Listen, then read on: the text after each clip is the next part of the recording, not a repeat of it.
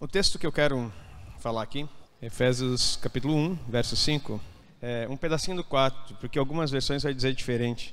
Porque assim, ó, em amor nos predestinou, agora sim o 5, porque o em amor faz parte do 5, na divisão bíblica que às vezes fica um pouquinho difícil. Em amor nos predestinou para filhos de adoção por Jesus Cristo, para si mesmo, segundo o bom prazer da sua vontade. Beneplácito quer dizer bom prazer da sua vontade.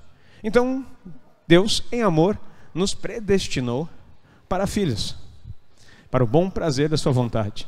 E nós precisamos compreender a palavra de Deus na questão de filiação.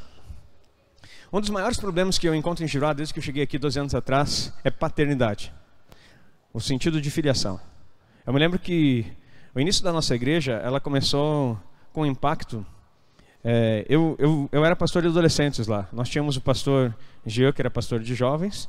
Aí tinha o pastor Silvânio, tinha o pastor Jair, na época, na igreja lá de Santo Ângelo, que cuidavam da igreja. Pastor Silvânio pastor Jair. Eu cuidava dos adolescentes e o pastor Gio cuidava dos jovens. Então, o meu ministério era focado somente para adolescentes. Aí, quando eu cheguei aqui, a única coisa que eu sabia fazer era pastorear adolescentes. Então, eu lembro que no, nos primeiros meses, de, enquanto nós começávamos com a célula, mas depois que a gente abriu uma sede, um local, é, propriamente isso em 2012, a gente chegou aqui em 2010, novembro de 2010. Aí em 2012 houve um impacto muito grande, porque eu comecei a trabalhar diretamente com, com adolescentes. E nós tivemos até frequentando, numa cidade aqui de 10 mil habitantes, urbano, nós tivemos ali cerca, naquela época, de cerca de 150 adolescentes participando dos cultos. Então nós precisamos entender que as coisas são geracionais. E tem uma palavra aqui, a, a Bíblia está dizendo que nós somos adotados como filhos, foi o que nós cantamos. Mas o problema da paternidade, ela tem destruído muito. Porque talvez você passou estraçalhado no teu coração. E ontem eu peguei forte com os adolescentes aqui, perguntando quem que era pai. Pai é aquele que gera? E daí sai correndo, deixa a mulher grávida, abandona, e depois nasce e tem que se virar. Pai é aquele que vem, cuida até um pouco, daí quando chega uns 7, 8 anos, não aguenta mais, abandona a família e vai embora. Pai é aquele que pega uma mulher que está grávida, casa com ela, dá assistência, cuida, é, e depois leva até o casamento, na formatura da faculdade, acompanha tudo. É um paizão, não gerou, não é o progenitor, não é o DNA, mas se criou. E eu perguntando para eles, quem é pai aqui nesse cenário? E querido, sabe que eu vi algo bem interessante na mente deles, chamado confusão. E se você está pensando comigo aqui, você está confuso também. Quem que é pai? Quem é o pai de verdade nessa situação? Porque na nossa sociedade nós entendemos a figura pai, a palavra pai é P-A-I, e acabou. Não tem significado nenhum. Mas quando nós vamos estudar a palavra, a Bíblia ela foi revelada ao povo eh, de Israel numa língua chamada hebraico. E a, o hebraico é uma língua riquíssima, que ela tem um símbolo, nela ela tem um símbolo, ela é um desenho. A primeira coisa é um sinal. A língua hebraica é um sinal, que você não precisa é, saber apenas ler no sentido de alfabetização. Você primeiro é alfabetizado no, no desenho, para depois ser alfabetizado no sonoro. Você entende um desenho e depois você entende o sonoro. É bem diferente da nossa cultura. Outra coisa, esses desenhos falam muito mais alto do que a, o, ressoa a palavra, porque talvez você não saiba, mas a palavra Deus não criou para ser comunicativa, mas criativa. Nós usamos a palavra achando que é comunicativa. A palavra é criativa. Porque ele disse, a primeira vez que Deus fala, disse Deus, haja luz e houve luz. Quando Deus criou as coisas, quando ele usou a palavra, bum, algo aconteceu. Nós, e isso não mudou. A nossa palavra cria coisas ou destrói coisas. O apóstolo Tiago fala isso no capítulo 3, se eu fosse você anotava para lá em casa. O poder da palavra pode destruir, como abençoar e amaldiçoar. Então a tua palavra não é comunicativa primeiramente, ela é criativa. Então o desenho ele tem muito mais fundamento. E além disso, a letra no hebraico ela fala um número. Os números não, é, não são como nos nossos números. 1, 2, 3, 4 e as letras são diferentes. As letras são os números. Eles podem dizer isso é confuso, pastor. É confuso para a nossa mente ocidental. Mas para eles é muito simples. E para quem estudou hebraico, não que fique simples, você tem que estudar bastante. Mas você começa a entender. E a palavra usada para pai, que é o problema que a gente vê na paternidade, é uma palavra muito simples. Até eu brinquei ontem, Obrigado. Já está aí, ó. A palavra pai. Ali tá, a pronúncia está tá errada, mas é aba. Aquele desenho embaixo ignora, só olha as duas letras grandes. Aba. E daí você vai dizer assim, tá, pastor, que legal, não entendi nada do desenho. Mas não é para entender, é só para você entender a figura. Quando o judeu olha essa primeira palavra, que é essa aqui, o, o hebraico não é que nem o português, que a gente lê da esquerda para a direita, o hebraico lê da direita para a esquerda, para ficar mais fácil para te estudar.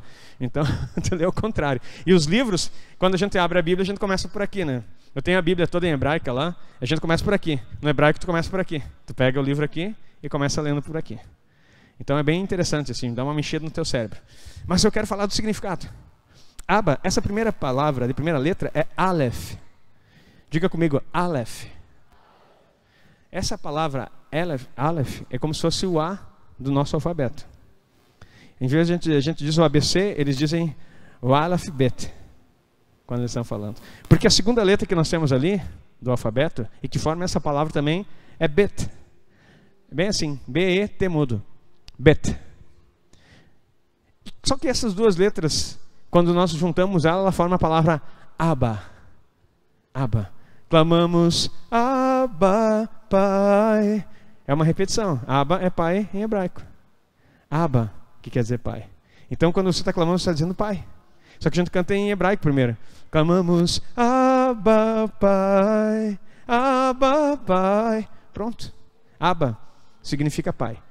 Só que aí o que, é que acontece é que a sociedade então ela projeta conforme as experiências. O teu pai é aquilo que você viveu, é aquilo que você experimentou. É a experiência que você teve de ausência ou presença danificada, ou mágoas, ou abusos, ou um pai feliz que supriu, e não vamos falar que não é só desgraça. No contexto giroá, nessa experiência que vivi, a maioria tem traumas, e a maioria dos jovens, eu lembro que no encontro de jovens que nós estávamos, encontro com Deus, estava numa roda assim, devia ter uns, sem brincadeira, uns 15 jovens conversando comigo. Eu falando sobre paternidade, paternidade porque é importante paternidade. Vocês entendem o que eu estou falando, né? Porque o pai, o pai, e Deus assim, daí eu vi que eles murcharam tudo na cadeira assim. Deus assim, aí eu tive a curiosidade de perguntar: quem de vocês tem pai aqui? Nenhum. Tinha 15 jovens. Nenhum tinha pai. Como não tinha pai? Não, queridos, foram gerados, mas não tinham pai. Não conheciam, outro pai abandonou, não se relacionavam. 15 sentados ao meu redor, falando sobre paternidade, empolgado, e eles não sabiam o que era pai. Sabe o que, que isso acontece? Uma projeção. Se eu não vivo o que, é pai, sabe que como que a gente chama de Deus? Como que a gente chama Deus? Como que nós chamamos Deus? Agora, se o teu pai foi um caco, o que, que você vai entender? Que Deus é a mesma coisa. E daí na hora que você fala pai, você não consegue nem falar, eu te amo, pai. Como que tu vai dizer para Deus, eu te amo, pai? Se o teu pai abusou você, seja emocional, seja sexualmente, seja pelo abandono, que é uma certa forma de abuso e trauma, e daí você diz assim, eu tenho que clamar, aba pai. Paizinho, aba pai juntos também quer dizer paizinho. Se eu não tive um paizinho, eu nem sei o que é ter pai. O meu pai nunca me ajudou. O meu pai nunca fez nada por mim. E eu não estou aqui querendo falar, nem criar ódio no teu coração a respeito do pai. Eu quero te mostrar uma, uma reconfiguração da sua mente hoje para você entender o que, que a Bíblia diz. Porque se você continuar olhando para aquilo que você vive, você nunca vai entender o que, a Bíblia, o que a Bíblia diz. E se você continuar projetando aquilo que você viu de pai, conforme a tua experiência, você nunca vai ser curado. Porque a paternidade cura, diga amém. Todo que tem pai é curado. Paternidade cura. Se não há paternidade, haverá feridas. E hoje, pai que está aqui me ouvindo, não se sinta um caco, não se sinta uma desgraça, mas se sinta é, favorecido por ouvir uma palavra poderosa que você vai ouvir hoje. Porque se você estava errado, eu quero dizer para você, foi uma falha dos teus pais. E não culpe eles, perdoe eles. Sabe por quê? Porque talvez eles não tiveram uma referência paterna. E ninguém dá o que não tem. Se tu não conhece o pai, como que tu vai ser pai para alguém? E nós vamos aprender que, aprender que o hebraico fala exatamente isso. Então, Aba, essa primeira palavra, a Aleph, que é aquela letrinha esquisitinha ali, que é a primeira letra do meu nome, eu tenho meu nome, eu fiz em 2012, a primeira vez que eu fiz Israel, o meu nome, o meu nome começa com Aleph. Sabe o que significa a palavra, a letra Aleph? Os adolescentes que estavam aqui ontem, o que significa a letra Aleph? Maravilhoso, líder e mestre. Maravilhoso, líder, mestre. Então, para eles, quando ele vem a figura, antes de ele entender, você já viu a placa, já viu uma placa vermelha escrito pare na rua, em algum lugar? Você não precisa nem. Essa está escrito pare, é uma leitura. Mas tem uma outra que é um triângulo, você já viu? O que, que significa essa, essa placa? DA. Essa, obrigado, tem essa aqui melhor ainda. Obrigado, Robson. Treinadinho, esses guris, hein? Dá um bom. Olha aí, ó. Eu não queria quem eu quero saber o pai, que é o pai desse guri aqui, né? Quem será que é? Olha só. Quando você vê essa placa, o que que você sabe? O que que isso aqui está dizendo para você? Tu está andando de carro e vê essa placa, o que que é para fazer? Prestar atenção porque tem uma faixa de segurança, vai ter pessoas atravessando. Tem alguma coisa escrita aí? Olha o poder do sinal. Você já entendeu. Registra mais rápido. Cuidado, escola, faixa de pedestre, crianças. É um texto, tu não ia ler nunca. Agora o símbolo, bum, já deu. Quando as pessoas olham a letra do Aba em hebraico, sabe o que, que eles estão lendo? Líder, mestre, maravilhoso. Isso fica impregnado na mente dele como uma foto, como você está vendo. Ele não vê outra coisa, ele vê mestre, líder, maravilhoso. Certo? Vamos para a segunda letra. A segunda letra é Bet. Sabe o que significa essa letra no hebraico? Casa. Agora tu já entendeu, né? O que, que é pai? É o mestre, o líder, o maravilhoso da casa. E aí o que, que eles desenham? Pai só pode ser isso. Qualquer coisa que não é isso, não é pai. Agora, o pai que está aqui, a experiência que você teve como pai, ah, não interessa, ah, mas ele é meu pai, ele me criou. Não interessa. Se você não foi o líder, o mestre, e foi, não foi maravilhoso na sua casa, você não entendeu o que é paternidade. Você acidentalmente criou seus filhos. Ai, pastor, essa palavra é muito dura. Queridos, graças a Deus por Jesus, que nos assiste e nos reconstrói na nossa identidade. É isso que eles estão aprendendo. Então você começa a olhar e dizer assim: Poxa, agora eu entendi. Quando eu falo, eles não medem, porque nós medimos pelas nossas experiências Deus. O povo hebreu, eles medem o povo pela experiência que eles têm em Deus. Acho que você não entendeu. Nós não podemos medir Deus pelas experiências humanas. Nós medimos os homens pela experiência que nós temos em Deus. Aplauda o Senhor, diga alguma coisa. Entenda o que eu estou te falando. Se você não foi esse pai maravilhoso, mestre e líder da casa, você não conseguiu representar Deus. A gente fala muito em ser sacerdote do lar. Daí as mulheres dizem, meu marido é o sacerdote. Outras dizem, meu marido não é o sacerdote. Os homens dizem, eu sou o sacerdote do lar. É?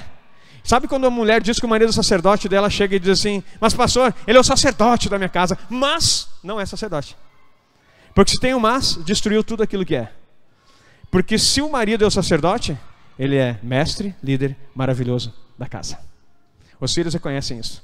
Quem constrói essa imagem do pai é a esposa. A Bíblia diz que a mulher sábia constrói, edifica a sua casa, mas a insensata destrói com as próprias mãos. Melhor seria o texto, não criticando a palavra, mas para você entender, com a própria boca. Porque muitas vezes nós destruímos a nossa casa pelo que falamos do nosso esposo. Do nosso, não do vosso, porque não tem esposa. Mas você entendeu. Está entendendo como é que é a situação? Então, um pai ele tem que ser isso. E nós temos que olhar. Daí eu vou olhar isso aqui. O meu pai foi isso. O meu pai foi esse mestre maravilhoso. Ali embaixo está dizendo força da casa é uma transliteração. Eu estou falando do significado próprio das palavras. O meu pai foi isso. Em plenitude não. Mas agora conhecendo o meu pai, eu consigo entender o meu pai terreno. Conhecendo o meu pai celestial, eu consigo entender o meu pai terreno e não julgá-lo, porque assim como eu sou falho e busco ser como o pai é, o pai celestial, ele não buscava, porque ele não tinha uma referência paterna e não conhecia Deus. Meu pai conheceu Jesus aos 27 anos. Olha quanto estrago. Está entendendo a palavra aqui, queridos? Está entendendo mesmo? Então, o meu conselho nessa noite para você que é pai, para você entender a identidade e construir isso ainda em tempo nos seus filhos. Agora você não constrói mais pelo exemplo, você constrói pela intercessão. Anota isso. Enquanto teu filho é pequeno, você instrui pelo exemplo, não pelo que tu fala. Tem um ditado militar que dizem assim: palavras convencem, mas o exemplo arrasta. Sabe o que acontece? Tem muitos pais que levam os filhos na igreja, mas não participam. Nunca vai dar certo. Não é você levar alguém, Sabe, o pai que não participa do culto, falei isso aqui um tempo atrás. Ah, estou muito cansado. Querido, você não tem noção do quanto eu estou cansado. Os músculos das minhas pernas estão tremendo. Porque eu pulei sábado, eu pulei domingo de manhã, eu fiz crossfit aqui. Eu montei, desmontei a pista. Na sexta eu estava varrendo e limpando a igreja aqui junto. Na quinta eu estava fazendo as mesas de um jogo junto com meu pai numa marcenaria aqui que a gente montou improvisada aqui. Trabalhando duro, no pesado. Para quem não é acostumado nisso hoje em dia, e está um pouquinho acima do peso, coisa mínima, isso dá uma carga. Mas estou reclamando aqui? Não, queridos. Se disser, vamos fazer mais um louvorzão, chama os adolescentes para frente, vamos pular, não, eu pulo. E não sei se você percebeu, mas eu fiz um esforço tremendo para conseguir cantar e pular ao mesmo tempo, né? E não saiu assim, ah, não, eu cantei certinho. Porque nós temos que fazer o melhor para Deus. Experimenta pular e cantar que nem eu cantei aqui, que a voz sair limpinha desse jeito. Isso se chama técnica, que eu não fazia há quase 15 anos. Por quê? Mas eu dei uma treinadinha, vou confessar. Então, assim, ó, porque para poder pegar essa galera aqui tem que entender essas coisas. Então, olha, nós precisamos nos ajustar nisso, queridos. E compreender o que nós estamos fazendo. E como estamos estipulando as nossas referências. Está entendendo a palavra até aqui? Ainda bem que dois estão entendendo. Vou perguntar, não, está entendendo a palavra aqui? Ok, então vamos reconstruir aqui o princípio de paternidade. Ok, você entendeu já? Você não pode se parar como vítima, queridos. Ah, eu sou assim porque eu não tive um pai que entendeu. O início da tua história começa em você. Você define o seu futuro. Mesmo que tenha sido terrível. Se você se colocar de vítima, estudando sobre libertação, e logo vou ensinar a igreja sobre isso, descobri que existe um demônio, uma entidade maligna do vitimismo. Todo aquele que se acha coitadinho é possesso. Autocomiseração, coitadismo, vitimismo é espírito maligno, queridos. Não sabia? Isso é muito sério. Ai, Inclusive pais que estão aqui, escute que chantageiam os filhos pela presença, para que possam estar próximos e fazem. Não estou dizendo que aqueles que desejam a presença dos, dos, dos, filhos, isso é bênção, isso é de Deus, família unida é bênção. Mas aqueles que chantagiam, fazem vítima, fazem choramingo, ai, tu me abandonou, ah, espírito maligno. Espírito maligno, cuidado. Então, você tem que ser sadio nessa, nessa circunstância. A mesma coisa é filhos manipuladores, que querem manipular os, os pais. Cuidado, pais. O rei da tua casa. Eu estou falando uma série de devocional sobre isso. Jesus, o rei da minha família, toda manhã, seis e meia. O rei da tua casa não é teu filho, nem você, é Jesus, diga amém. Se você tem um reizinho em casa, cuidado, você vai ser manipulado e será destruído. A tua casa vai cair. Mas voltando então aqui, mestre maravilhoso, líder da casa. E se há um líder na casa que gera, que organiza, que faz isso. Ontem o Mateus falou uma frase muito bonita. Eu pedi para ele anotar, eu duvido que eu tenha anotado, mas se ele anotou, se ele lembrar, ele disse assim: o Mateus Medeiros, cadê o Mateus Medeiros? Ah, tu tá aí, cara. Mateus Medeiros inspirou ontem a galera aqui. Então ele disse assim: pai é aquele que ajuda a construir a identidade do seu filho. Dá um aplauso ao Senhor definição de paternidade. Um adolescente. Pai é aquele que ajuda a construir a identidade. Eu disse assim, uau. E de fato é. É aquele que ajuda, não é aquele que constrói. É aquele que ajuda a construir a identidade do seu filho. Hum, coisa. Oh, mexe com esses adolescentes. Cutuca para ver. Vai sair uns negócios bons. Então, olha só. Se nós ajudamos a construir identidade, nós também somos ajudados a construir a nossa. Quem é o nosso ajudador na construção da nova identidade em Cristo Jesus? O Espírito Santo. E dia a dia ele está construindo você a imagem e estatura de Cristo. Até que todos chegamos à unidade da fé. E aí Paulo vai dizendo: até que a gente seja formado como Cristo é. Uma construção. Quem é Cristo? O Filho de Deus. Quem nós somos? Lembra do primeiro versículo? Acho que eu li, né? Li sim. E nos predestinou para filhos por adoção. Por Jesus Cristo. Por causa de Cristo. Você é filho.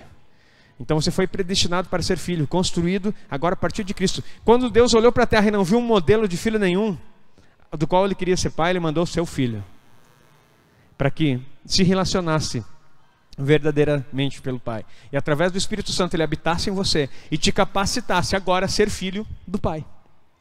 Em Cristo Jesus. Não ficou confuso, né? Deu para entender? Amém?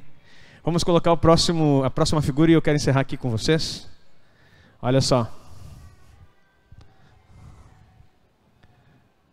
O filho Ben. Conseguiu?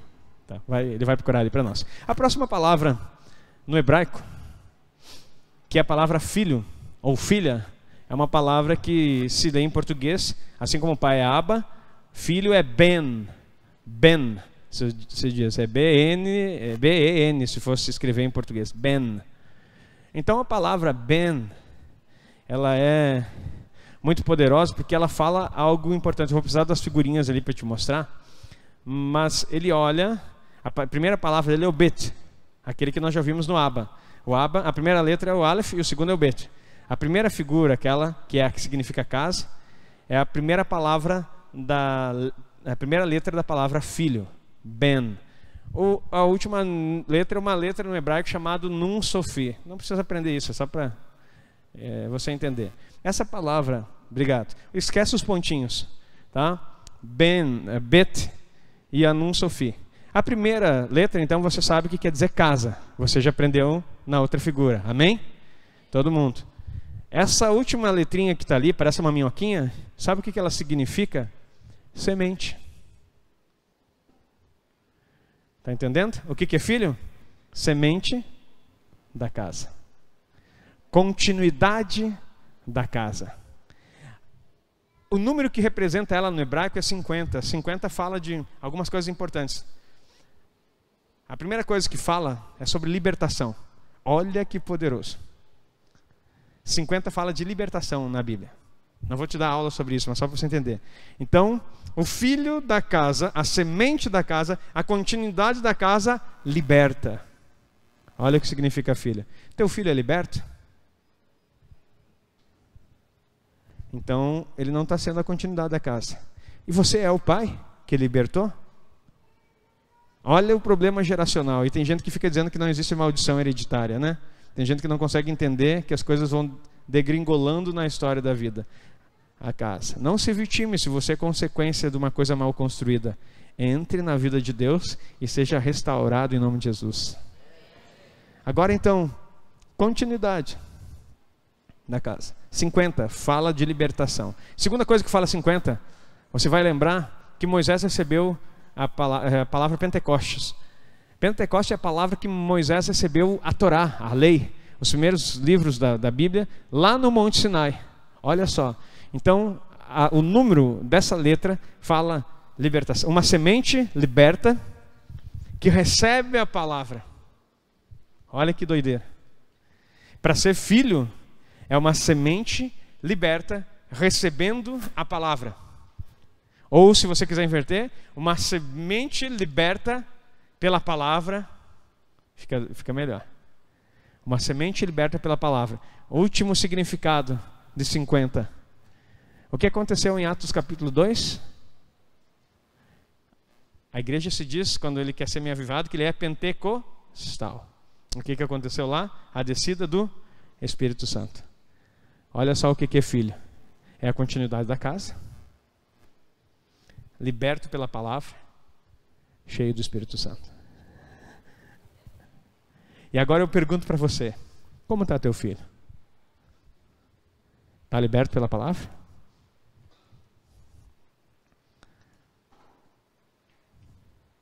Leia a palavra, entende a palavra, é cheio do Espírito Santo?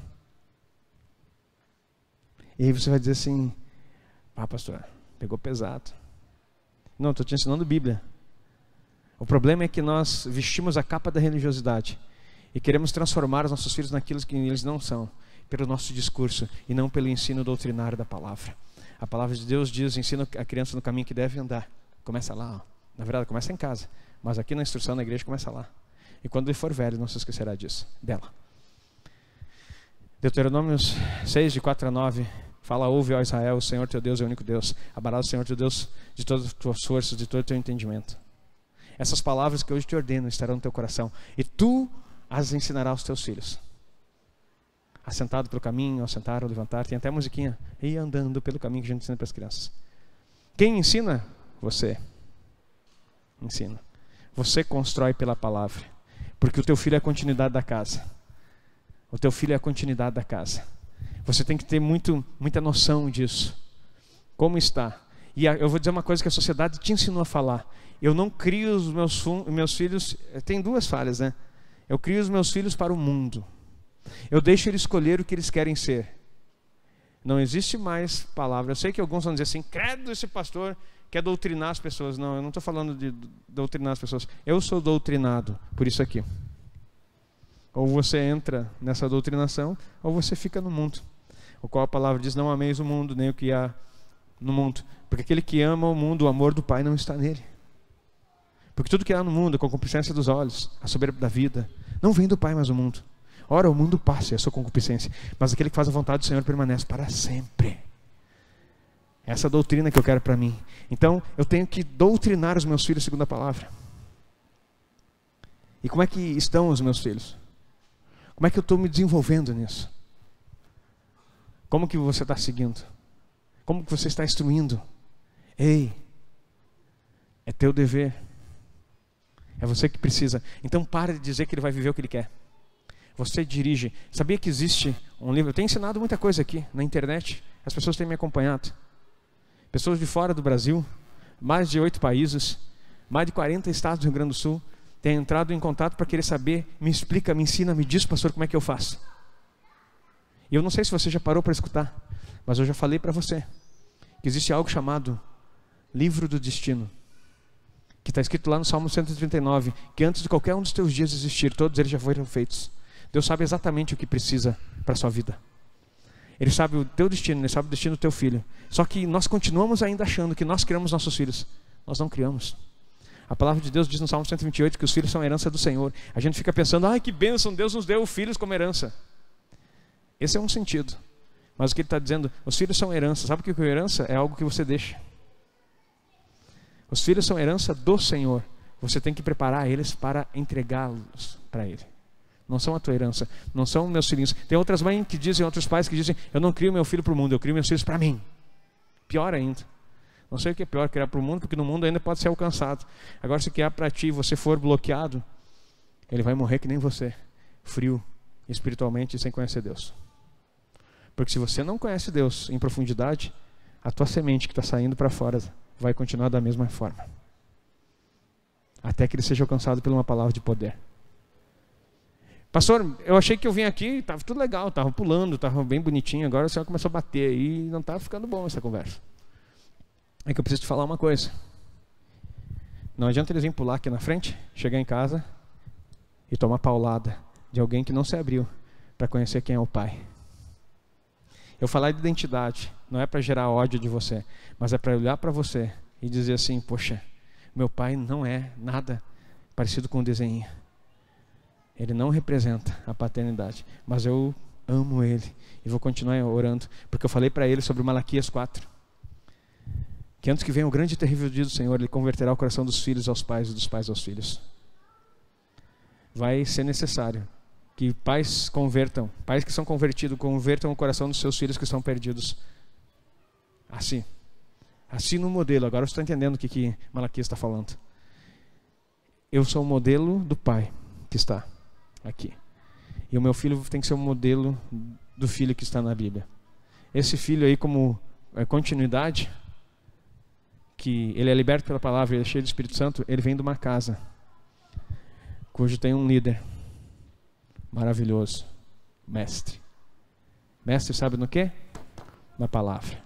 Porque o primeiro que ensina dentro da casa é você. E não é na tua forma. Pastor, o que, que eu faço agora? Se converta, se arrependa, peça perdão ao Senhor. Estou falando sério, não estou brincando. Peça perdão Senhor, Pai, perdão, porque eu não sabia como criar os meus filhos. Hoje eles estão perdidos, hoje eles estão distantes, e a culpa não é de ninguém. Não é a culpa do pastor, não é a culpa da igreja, não é a culpa da sociedade, a culpa é minha. Bate no peito e derrame lágrimas para os teus filhos, dizendo assim: tem misericórdia de mim, porque eu falhei. As misericórdias do Senhor são a causa de não sermos consumidos, porque as suas misericórdias se renovam cada manhã. Se você falhou, não fica ostentando o pai padrão, querendo prêmio. Você falhou, ponto. Mas a boa notícia é que não depende da tua condição, mas daquilo que Cristo fez. Se dependesse de você, nós tudo estava lascado, querido. Se dependesse de mim, já falei como pai. Mas agora, como não depende de mim, depende do meu pai, do Abba eu me prostro, eu me coloco diante dele em adoração e digo: tem misericórdia, me ajuda a instruir os meus filhos de forma correta, para que eles possam te conhecer e ser a continuidade, porque quando eu sair daqui, se o Senhor Jesus não tiver voltado ainda, eu quero meu filho aqui, ó, pregando nesse lugar. Eu quero minha filha ministrando no altar. O Caleb ele pode achar que ele vai ser o que quiser, mas uma coisa não tem volta para ele, ele vai ser pastor. Porque uma geração de sacerdote gera sacerdote. Ah, pastor, mas e se Deus não chamar? Deus não chamar o quê? Eu já entreguei? Não tem para que você chamar. Eu já entreguei. E quando eu entrego, não é mais meu, é dele. É a mesma coisa minha filha. Então nós precisamos entender que não é o destino que eles escolhem. Pare, pai, de dar conversa para doce perdão, adolescentes. Deixa eu dizer. Pare, pai, de dar conversa para eles. Eles não sabem nem que tênis vão botar para sair. Ai, eu não sei se eu vou aqui, meu Deus, aqui. pai, tá boa essa roupa, não tá boa. Eu não pergunto nada, a gente chega assim, meu Deus, que roupa é essa? Vai botar outra roupa. Volta lá triste. Porque eles não sabem nem o que vão se organizar. Tu acha que ele tem condição de decidir o futuro dele? Oh, agora olhei para o Rodrigo, lembrei do nosso amigo Jean. Ô oh, seu cabeção, tu vai deixar que o teu filho domine você? Ai, pai, mas eu quero aquele calçado, eu quero aquela roupa, eu quero aquele, eu quero aquele celular, eu quero aquele não sei o que lá. Ei! Pai banana de plantão, presta atenção. Seja homem. Vem quarta-feira aqui no, na rede de homens. Nós estamos falando uma série sobre homens de verdade. Homens de verdade. Não, não é ogro, não é bruto, não é bagué. Homem de verdade é homem de Deus. Porque tem uns que são gaúcho andam de espora, mas se afrouxam para os filhos quando eles querem mandar. São grosso, fala, mas que vai. Toma um chimarrão com a bomba ainda atravessada no canto da boca. Um bigode parece um ratão de atravessado. Parece o guri de Uruguaiana. Mas os filhos mandam em casa. Aí tem que passar de bom, dar grito lá fora e dizer que é machão, mas quem manda é em casa. É os pitocos. Manipula, faz o que bem entende. Mas fica feliz que nós não vamos terminar aqui. Eu quero orar por você e eu quero dizer que vai dar tudo certo. Se você deixar hoje Jesus entrar na tua vida e dizer assim: Senhor, restaura a minha paternidade, restaura a minha vida, coloca, restaura o filho. Filho que está aqui, não, não é culpa do pai, eu só dei um recado para eles, porque vocês foram bem ministrados, adolescentes. Também peça para que você seja um filho, segundo o filho de Deus. É o Abba em nós e o Filho em vocês. Em todos nós. Eu quero dizer para você, se coloca em pé que eu já estou terminando. Eu quero dizer para você, pai que está aqui. E hoje eu quero fazer um apelo para você. Para você que é filho, para você que é pai, para você que ainda tem problema de paternidade. E uma coisa assim, ó, não vai resolver. Tem gente que pensa assim, ó, ah, quando quando Jesus voltar vai dar tudo certo. Se tu tem mágoa com teu pai, não vai. Se tu tem falta de perdão, não vai. aprenda algo. Quem não consegue perdoar, não vai conseguir estar com Cristo. Porque a Bíblia é claríssima que se você não perdoa, você não é perdoado. Se você não perdoa, você não recebe perdão. Essa é, é a máxima do Evangelho. Somos perdoados porque nós perdoamos. Ah, pastor, mas isso não tem perdão, pastor. Isso tem coisa assim, tu nem sabe o que fizeram para mim. Não sabe o que meu pai fez para mim, não sabe o que, que o meu filho fez para mim. Não tem mais jeito, não tem mais perdão. É? Então eu quero dizer para você o que você fez para Deus. E você estava morto nos seus delitos, nos seus pecados. E sendo inimigo de Deus, ele enviou seu filho para morrer por você. Para que fosse gerado na casa uma semente, que é chamada a semente da mulher, lá de Gênesis capítulo 3, que é você e eu, que somos da linhagem de Cristo, filhos adotados, predestinados para estar com Ele, conforme Efésios 1, capítulo 5. E eu quero dizer para você, Deus hoje quer mudar a tua identidade, pai, quer mudar a tua identidade, filho, e quer te dar a oportunidade de simplesmente bater no teu peito e dizer: Senhor, bater no teu peito é uma expressão, não vai sair na. Não precisa se martirizar. Mas dizer assim, Senhor, eu falhei nisso. Eu falhei nisso. Eu falhei.